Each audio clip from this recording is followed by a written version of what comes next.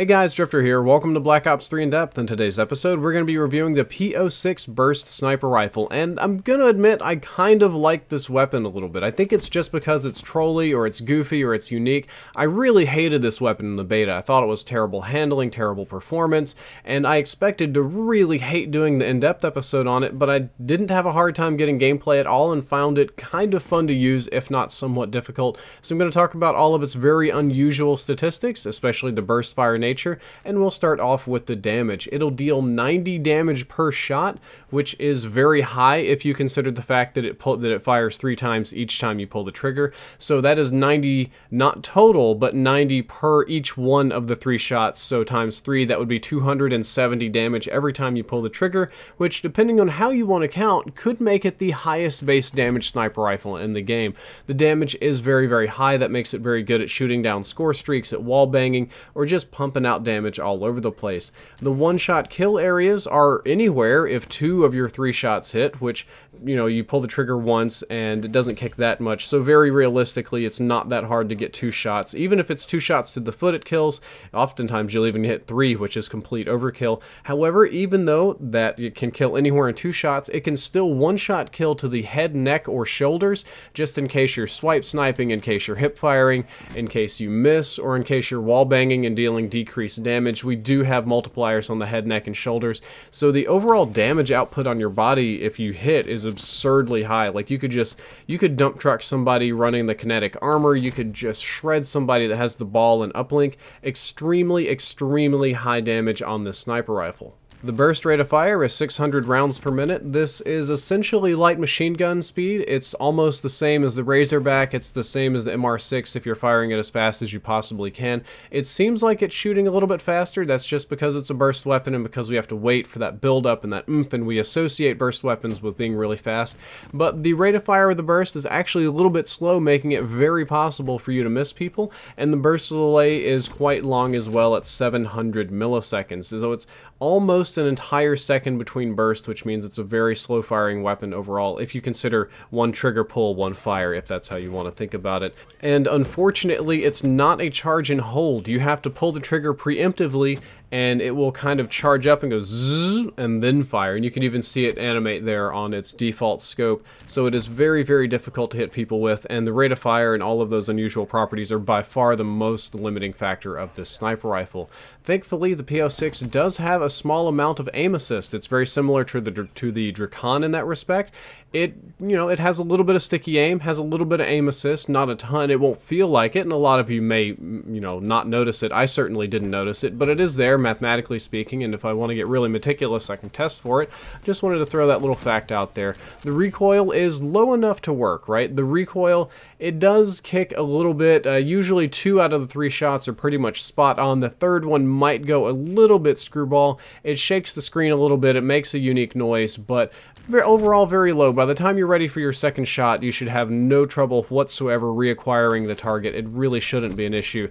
And if it were on a different gun, maybe an issue, but not for this one particular. Aim down sights time is 366 milliseconds, which is average for the class. Nothing really special about that, just kind of average for sniper rifles. It has a wide hipfire spread, but is overall very spammable, considering the fact that you only need two of the three shots to kill, and that it does spray, and that you can even get one-shot kills if you get lucky and hit somebody in the head, neck, or shoulders. The hip firing isn't too bad. Like, I would actually recommend doing this if you're in a pinch, especially if you're able to go prone or crouch. You'll probably be able to dump truck somebody with an unexpected hip fire. And I think the default scope is by far the best. Don't get me wrong, I love the Varix scope. I like the Recon scope. The other ones are quite nice, but the default scope has a unique animation that shows you the charge time on the sniper rifle. It helps you aim, it helps you time your shots, it helps you know when you are and aren't going to be able to hit your shots. So I think the default scope is just by far the best on the P06. And I wouldn't say that for all sniper rifles, but definitely on this one. However,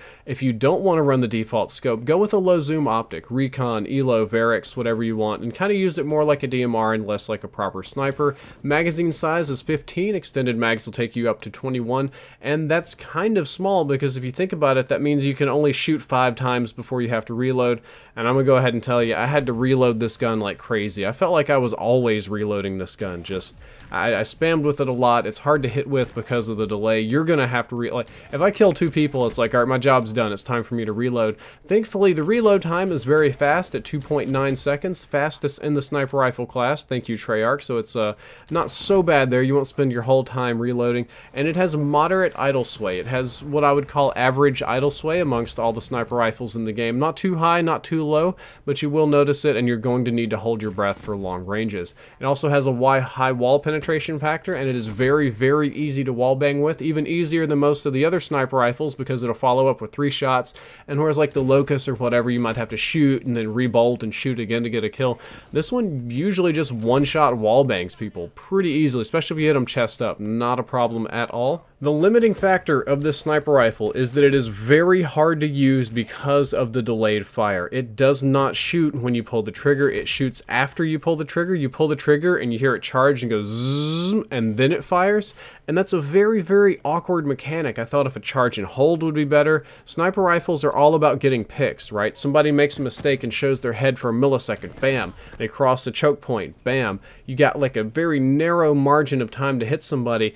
But this one, you use that entire narrow margin charging your stupid shot, and then instead of, especially in a game with very low sniper rifle auto aim, you kind of have to wait for somebody to walk across your crosshairs and click or pull the trigger at just the right second to pop them. And with this weapon, you have to track them the entire time or hope that they're sitting still or kind of line your shot up, and that makes it very, very difficult to use, way harder to use than it should be.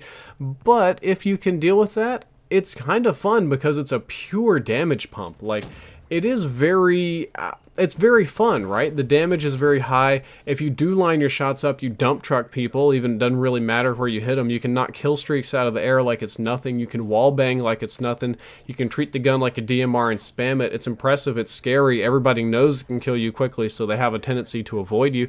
And it is very, very rewarding when you do kill people, but it's just very hard to use. I'm never going to tell you that this is a good gun for competitive. This isn't really even that good of a gun for pubs if you really want to win, but it is a very fun weapon. It is usable and it's very fun. It's very satisfying when you hit people with it, and I think that's what I really liked about it. And that's kind of I would just recommend to use this weapon if you want to have fun. And I think it's best with just a suppressor and maybe a stock if you need it. The suppressor is essential because it keeps you off the radar and it has no negative side effects. Default scope is going to be best. Ballistic CPU, I didn't need that much on this particular weapon, and just maybe a stock. Maybe if you have a little bit of sidestepping difficulties, rock the stock on it, and you'll you'll feel a little bit better about yourself.